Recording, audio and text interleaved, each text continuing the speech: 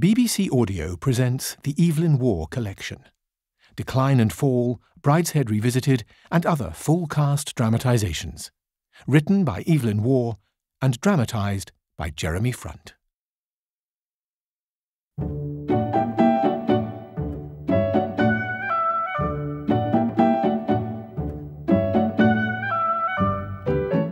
Decline and Fall by Evelyn Waugh.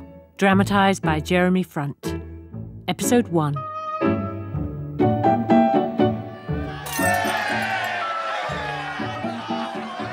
Just listen to it, Postlethwaite. The sound of the English county families baying for broken glass. Imagine the college fines there'll be after this evening. Hmm. If they reach fifty pounds, they'll bring up some very fine bottles from the senior common room cellars. There must be 50 of them at least. Now, fifty at ten pounds a head. Oh, that'll be uh, a week's worth of port. More if they attack the chapel. Please, God, make them attack the chapel. Perhaps you should close the window, Sniggs. We don't want to draw their attention. Here's to the Bollinger Club. The Bollinger and a week of Founder's Port. Oh, they're going into Partridge's rooms. I've never known them in such fine tune. Who are the unpopular undergraduates this year? Uh, Sanders went out to dinner with Ramsay MacDonald once. And Rending, of course. He can afford to hunt, but prefers to collect china and smoke cigars after breakfast. oh, there goes Partridge's Matisse. Oh, who's that? Coming in through the main gate. I can't quite. I think. Uh, oh, yes, it's Pennyfeather. Pennyfeather? Um, third year, reading for the church. A very unexceptional undergraduate. Not Bollinger, then. Good Lord, no. I doubt he's heard of them, and I very much doubt they've heard of him. That may be about to change.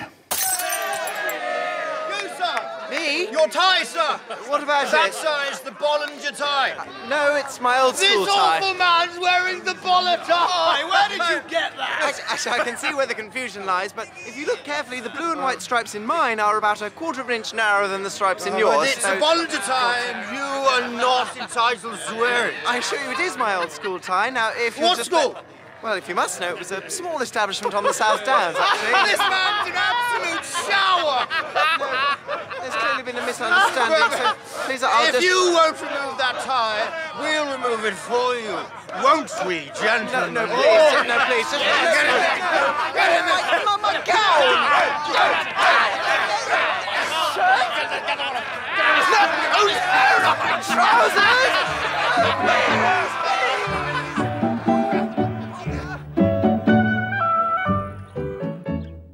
Sent down for indecent behaviour, eh? If I could explain. I'd been to a meeting of the League of Nations, a most interesting paper about the plebiscites in Oh, Poland. as your guardian, all I can say is thank God your poor father has been spared this disgrace. But it wasn't my fault. Your father left a sum of £5,000, the interest of which was devoted to your education, and the sum to be yours on your 21st birthday, which falls on. Um... In 11 months' time. However, in the event of your education terminating before that time, he left me with complete discretion to withhold this allowance, should I not consider your course of life uh, satisfactory. Now, I do not think that I should be fulfilling the trust which your poor father placed in me if, in the present circumstances, I continued any allowance. But as I've tried to explain, it was all a terrible misunderstanding. Moreover, you will be the first to realize how impossible it would be for me to ask you to continue sharing the same home with my daughter. But, I, I mean, what will I. What's to happen to me? Find some work, my boy. Good healthy toil. Look at life in the raw. See things steadily and see them whole, eh? Have I no legal right to any money at all? None whatever, dear boy. Sent down for indecent behaviour. Officially, although it wasn't exactly my fault. As a scholastic agency here at Church and Gargoyle, we call that sort of thing education discontinued for personal reasons. Let's see if we've any suitable positions. Education discontinued. Ah! You're in luck, Mr. Pennyfeather. Here. Notice of vacancy Augustus Fagan, Esquire, PhD, Llanabba Castle, North Wales. Required immediately junior assistant master to teach classics and English to university standard. With subsidiary mathematics, German, and French. Experience essential. First class games essential. Could have been made for you. But I don't have any experience. I, I don't know a word of German. I can't play cricket. It doesn't do to be too modest, you know. Uh, it says here status of school, school.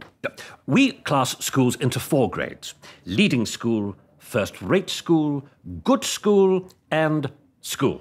Uh, frankly, school is pretty bad, and between ourselves, Llanabba hasn't a good name in the profession, but I think you'll find it a very suitable post. Besides, Dr. Fagan can't expect a great deal for the salary he's offering.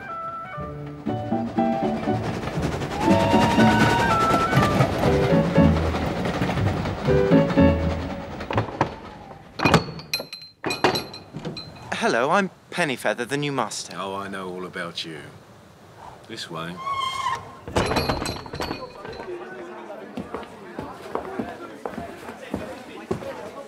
Wait in the common room. Right. Thank you. Sorry, I didn't catch your name. Good.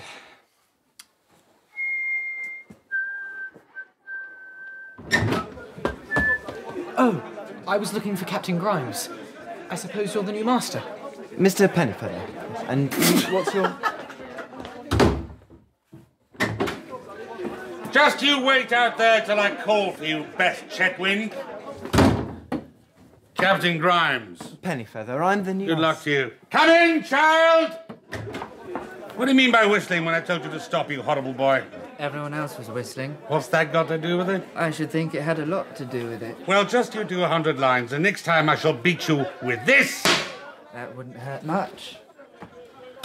Know the trouble with this place? No. No damn discipline. Welcome to Llanabba Castle, old boy.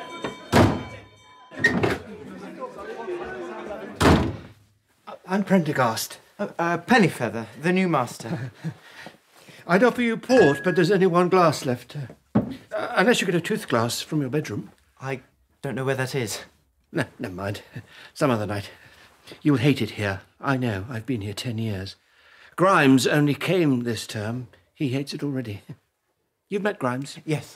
He isn't a gentleman. Do you smoke a pipe? Yes. Those are mine on the fireplace. Remind me to show them to you after dinner. Dr. Fagan wishes to see Mr. Pennyfeather. Oh, better hurry along. Don't want to keep the head man waiting. They call her hard-hearted Hannah, the vamp of Savannah, the meanest gal in town. Florence, I beg you. Oh, Dad, you are an old misery. Come. Mr. Pennyfeather, please. Ah, settling in? Uh, yes, uh, thank you. Uh, that is my daughter, Florence. Pleased to meet you. Now, I always tell the young chaps what comes here is don't let the dad overwork you. He's a regular tartar, his dad. But then you know what scholars are? Inhuman. Ain't you inhuman? At times, my dear, I am grateful for what little detachment I have achieved. I hope you brought snow. Uh, my other daughter, Diana, Masters are not supplied with soap, boot polish, or washing over two and six a week. Do you take sugar in your tea? Uh, usually. I'll make a note and have two extra lumps put out for you. Don't let the boys get get 'em, mind. thank you, ladies. You can leave us now. Toodaloo. Toodle. Yes. Now, Pennyfeather. Hmm. I've put you in charge of the fifth form.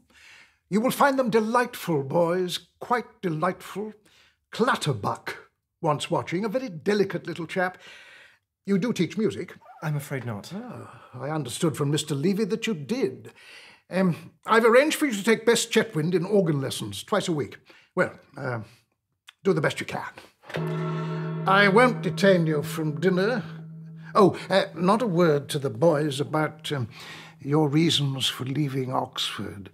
Uh, we schoolmasters must temper discretion with deceit.